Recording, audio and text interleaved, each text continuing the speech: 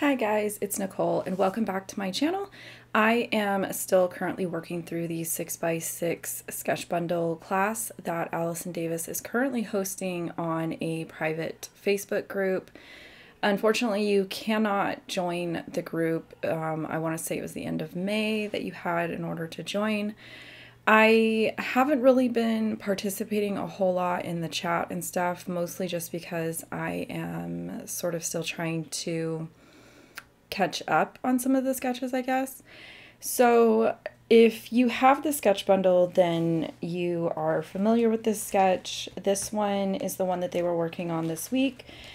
And it basically features a bunch of like wonky 4x4 areas, whether that's a photo or whether that's paper.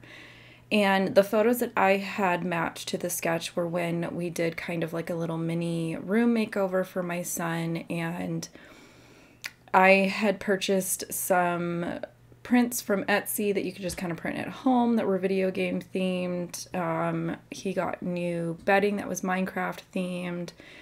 I went through and sorted all his Legos by color and kind of set up a little Lego station for him and basically had done everything while he was at school for his birthday. And he absolutely loved everything, um, including like just the small things that I didn't think he'd really care about, like a new rug for his floor and, and that kind of thing. So I don't have obviously anything that's like Minecraft themed or I probably could have gone with some simple stories. Um, some of their older boy lines that have like video game themes and stuff like that. I chose to just kind of do my own almost monochromatic type thing, mostly just with greens and some black thrown in.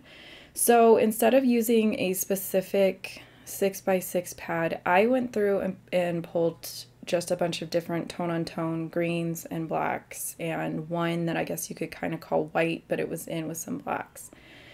And to start my video here, because this was basically where I started my process, was I just kind of played around with attempting to make my own pattern paper that was going to support the theme of my layout.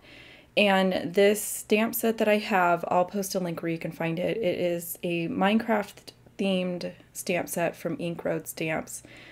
Um, I was a little disappointed when I went to use it just because there's a bunch of little like pixels or little squares all in a row. And so I thought that they were more of like a border stamp, but it's actually individual little tiny squares. And I just kind of felt like you know, maybe maybe put one or two individual squares in there, but I was wondering if it was kind of a design goof on the stamp and and the software didn't read it as a whole border, but I emailed them and I'm kind of waiting to hear back and see if I get a response and see if if it was just a goof in the design or if it was actually intended to be that way.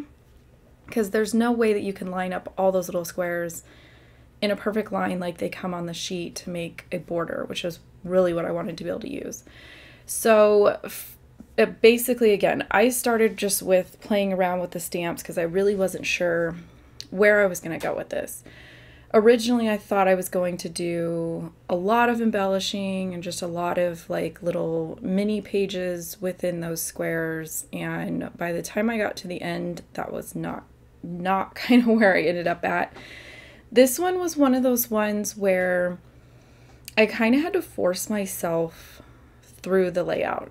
I basically, anytime one of my scrapbook friends was like, hey, do you want a video chat? I was like, yes, yes, yes, yes.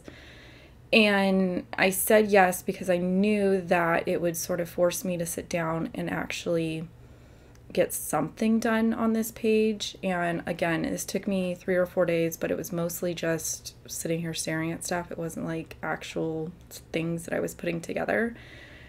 Um, and again, I think it's just one of those things where not every single sketch is going to be an instant inspiration. And again, there's no reason that I I don't have to use every sketch. That's just a personal challenge that I kind of issued to myself was to go ahead and do all of the sketches and see what happens creatively basically. So, I trimmed down all my photos, kind of figured out where everything was going to go. and just kind of making sure do I need any more photos? Is this going to be enough? And then from here is where I started just going through my paper pads and pulling stuff out. Now, for this one, I did not do the cardstock trick where I tape cardstock to my trimmer to basically keep everything trimmed to the same size because these are going to sort of be stacked and layered and wonky. So I didn't really see a point in making sure that they were all exactly the same um, cut size because you're not it's not lined up like a grid where you really do want to make sure that everything is cut to be the same size. So I was pulling from a lot of the basic pads that I have set aside for this whole class. I went and pulled a lot of greens from different, think it was two or three different Doodlebug Halloween collections. They almost always have um, green tone on tones in there, black as well. And I think I got one from like a My Favorite Things 6x6 pad and then the ones that I kind of made my own Minecraft paper were trimmed down from a Simple Stories Basics, which is basically, again, it's tone on tone. And it was from a more feminine paper collection where one side had kind of like a eyelet fabric pattern on it and the other one had like a linen fabric pattern on it. So I just went with the linen one to be able to kind of make my own pattern paper and go from there. And then all of the photos that were smaller than 4x4s, so the 3x3s, and then instead of doing 2x2s like she depicted, I just cropped them small based on what I had. There was no way, two of them I could have gone in a square shape, so again, I just kind of make it work for what I've got. So all of those smaller photos, I went ahead and mounted on white cardstock to help them kind of stand out from the background patterns. And then I went back to my dies, and I can't remember if I had pulled these in my prep or not, but these are also from my favorite things. And I want to say they're called Game On. No, Game Controller. And there's a large one and a small one, and my guess would be that these are designed to kind of look more like an Xbox remote which I don't really care. To me, a remote's a remote when I'm doing like a layout. But it was kind of a nice um, surprise to see that they were designed to look more like an Xbox because that's what he has upstairs in his room. So I cut the base controller piece three or four times with some white cardstock to give it some dimension and just kind of give it more of a chipboard feel. And then I ran the other shapes through just some different My Favorite Things cardstock that I had from some of their card kits. And I just picked like a light blue, a green, a yellow, and a red. I didn't go look at a remote to see if that matched or anything. I just wanted to kind of fill those in and make them look more like a game controller. And then from here, again, I already threw out every box that I've gotten anything shipped in. I need to remember to keep one. So in order to do splatters, I just grabbed this lid from a bucket where I've been keeping um, like purge supplies in. And I just took a black ink pad and some water onto a acrylic block and just kind of dipped a paintbrush in it and I'm just flicking it all over. Basically, I'm trying to add a little bit more interest into the plain white cardstock that I'm using. And to me, if the photos are all kind of wonky and jumbled, I want something else representing that kind of chaos. So for me, that's splatters. I don't typically do splatters. And then I did add another layer just using a ink pad, which again, I think this is from my favorite things. It's just a green one. And I set those aside to dry. And then I went ahead and grabbed just an alphabet die set. And I can't I think I've looked for this one and I'm pretty sure wherever I bought it, it has retired, but, and I'll post a link to this one. I think it's Concord and Ninth has one that's very similar to this, but you actually get a couple extra pieces in it. So to me, it's actually a better buy and I might actually order it soon. Um, and then just have two kind of similar sets, I guess. But this way I can make basically my own Thickers. So DIY Thickers, otherwise known as Dickers, which apparently, if you type the word Dickers into your friend's live scrapbook feed, it makes her have to approve the comment, which means I kind of want to do it every time now because it's just kind of funny to me. But I actually like doing these. It kind of makes me stop thinking about the layout and just kind of relax and enjoy something that's maybe most people would say is tedious, but I find this kind of thing to be relaxing. So, I again, I just cut, I think I did three layers of a white cardstock and then one layer of a green tone on tone pattern and just kind of layered all of them together. And I'm just using this liquid glue from Nuvo, which I have been loving. I feel like I've tried I've tried so many different glues. I mean, I'm telling you, whatever one you're going to suggest in the comments, I've probably tried it. I've tried the different bottles. I've tried watering them down. I've tried the ones with the push pins, all that. For whatever reason, this one hasn't clogged yet. So I might go back and order like two more bottles because knowing me, by the time I wait for this one to get empty and I need to order one, Nuvo will stop making them. I feel like that's what usually happens to me. But if you haven't tried that glue, I would suggest maybe trying it, especially when it's probably this almost the same price as some of those little ones, like the little glue pins. So, I don't know. Just throwing that out there that I actually really like it. I've only been using it maybe the last year, but again, it hasn't it's not getting clogged it's not like dr- getting dried up in the nozzle it, i haven't had to use a push pin or a needle to clean it out so to me that's kind of like a winner with glue so from there, I am going ahead and attaching everything to my page. And again, I just use the sketch as a guide to making these line up in that like wonky, whimsical way, but still managing to look intentional. so I suck at that on my own. So I will literally look at the sketch and kind of line everything up the way that she's kind of got it depicted because it just to me that's that's what works. And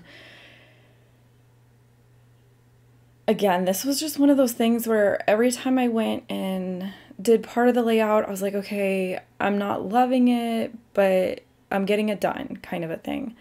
And I decided to go ahead and ink the edges of stuff with Black Soot Distress ink. I didn't do like a heavy hand. I really just wanted it to kind of not only stand out from all these different pattern papers, but again, it's going to go in with that whole like messy, wonky, whimsical feel that the layout already has from the papers and the photos kind of being not linear.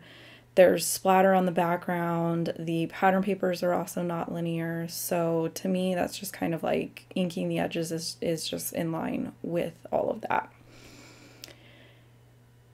And then I like I said originally I thought okay these are these kind of all look like little mini pages to me. And anytime I do like a grid style layout or something like that where you can kind of look at these areas as little pages I tend to go heavy on the embellishments. And that was kind of my plan. But I was sort of running into things where I didn't have obviously I'm stash diving for this and kind of coming up with my own theme and making things to fit within them. So I already knew I'm not going to find anything that is pre-made and going to work. And it wasn't until after I finished the layout that I thought, you know, it would have been really easy to just go into Silhouette and kind of make my own creeper cut file with some squares and that kind of thing, but I think it just was feeling lazy and I really just wanted to get it done and sometimes getting it done means kind of going simple and you know, just kind of letting the photos and the journaling speak for themselves. So I was having a hard time trying to decide where I wanted to put the title and things. Originally, I thought I was going to go ahead and type my journaling onto that lined pattern paper, but it was so tiny that I was like, you know what, I'll just do strips. That way, no matter what I end up saying, I've got enough room. And then I was chatting with a friend and she reminded me that the game controller die cuts from My Favorite Things came out during a release where they had a video game themed stamp set as well. And I was like, oh, yeah, pretty sure I bought that during a retirement sale. And I did. So this one is Game On. And I'm pretty sure it is retired, but I can't remember if they brought it back. So I just picked a sentiment that was in there that kind of looked like um, like those phrase stickers on sticker sheets. And I'm going to have that be part of my title or the subtitle to my title. So my title is basically going to be Surprise Makeover Achievement Unlocked.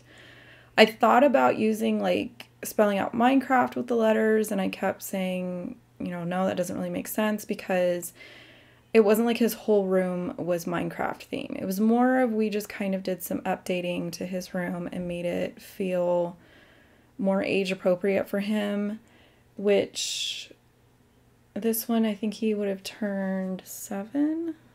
Yeah, this would have been his seventh birthday, and he's already kind of, even at seven, sort of phasing out. Like he doesn't want to play with his Animal Planet sets anymore. He's just kind of into his tablet, his video games, and even like the photo of his bookshelf right there in the last two years, most of those like larger picture books are gone the Cat in the Hat books have been, you know, passed down to his sister, and basically both shelves of that book are full of chapter books. So he's, I don't know, he's just sort of this boring teenager, but he's only nine right now. So I did just kind of make sure to take some pictures of some different things around his room that I knew were important to him and things that we had changed up or cleaned out or updated in in a way. And then these are probably my favorite thickers that they've ever come out with. I have them in a couple colors. I have no idea what the font is, but they're just these chubby lowercase foam thickers and I really prefer the foam ones because I don't have to add glue to them. I feel like all the other ones that I ever use, the chipboard ones, um, I can't think of what other material. It's like they're still chipboard on the bottom. All of those ones I end up having to add glue to them. But the foam ones, I find that not only can I put them down and move them, but they also somehow manage to stay attached. So those are just kind of my favorite. Um, so again, back to the embellishments because I knew that I didn't have anything already made. I just kind of pulled out my leftover binder and went to my green section and to my black section just to kind of see if there was any just like basic looking shapes or phrases. And in this case, it was an arrow sticker, um, a black like tag that I'm just going to turn sideways and use it more like a banner sticker and then a phrase sticker that basically just said let's go play but it had the green and black elements to it so this was probably around the time where I was like, you know what, I'm just gonna keep things simple. There's a lot going on with the photos kind of being everywhere and the papers not being lined up and stuff like that. So I just kind of kept it simple. Um, three four like four three or four of the actual squares with photos on them don't actually have any embellishments on them. Maybe like a little sticker or something or maybe like an enamel dot and that's about it and i'm 100% okay with that. I feel like sometimes you just have to be like less is more.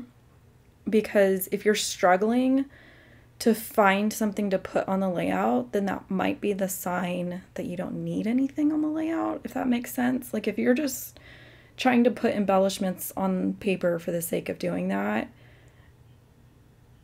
I don't know, I feel like maybe you don't need it. Like, I don't know, take a step back. And that was kind of my case with this one was I would I'd come chat with a friend or two, work on it for a little bit, walk away, come back the next day and kind of be like, okay, I need to move on. I need to get something done. So I, it was like, you know, today I'm going to make sure I get the title done. And the next day I'm going to make sure I get the embellishments done. Next time I came up there, it was like, okay, I'm going to type out my journaling and get those down and just that kind of thing. Um, I have definitely learned over the years of doing these classes that some combinations of a sketch the photos I pick and the supplies that I pick are just like instant makes sense instant. The layout I'm going to love. Everything's going to be great about it. I'm going to love the process. I'm going to love the end result. And some of them are just going to be kind of like this, where you know, it is it just kind of it is what it is, which I never thought that I would say because I hate that phrase.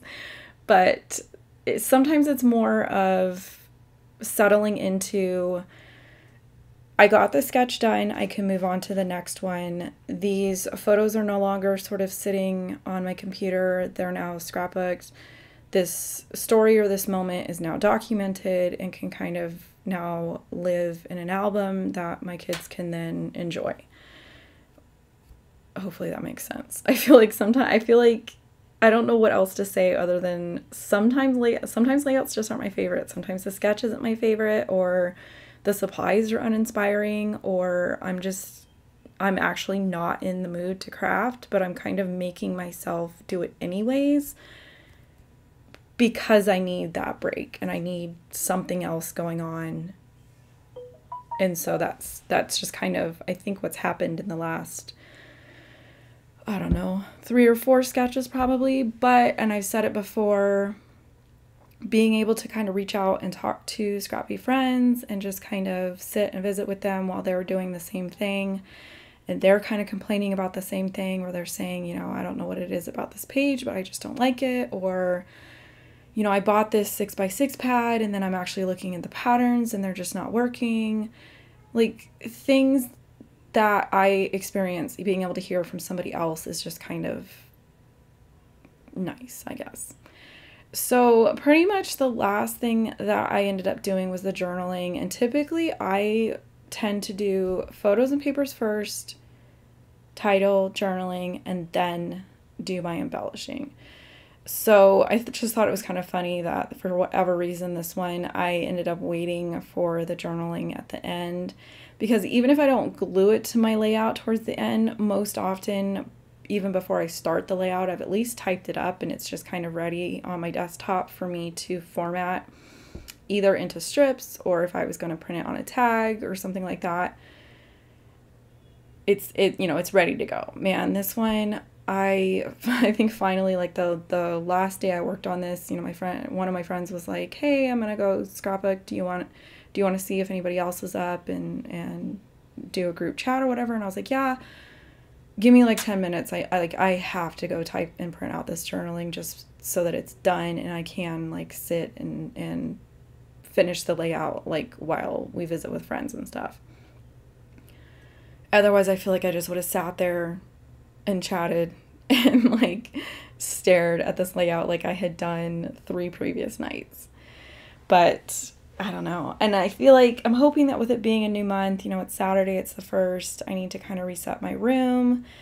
I want to start on sketch number 10 and be able to do a layout share with for you guys just showing layouts 1 through 10 there's 20 sketches in this bundle, so it's a good halfway point. And then once I get my room cleaned up, um, maybe I'll do a Workspace Wednesday video for it and edit that. Then I want to go ahead and sit down and do like I've done with the first 10 sketches and just look at five of them at a time and prep everything for those five. So with that, um, there is my layout and all of the photos for you guys. Again, there's links below for where you can find the photos and any available products. And I will talk to you guys later. Bye.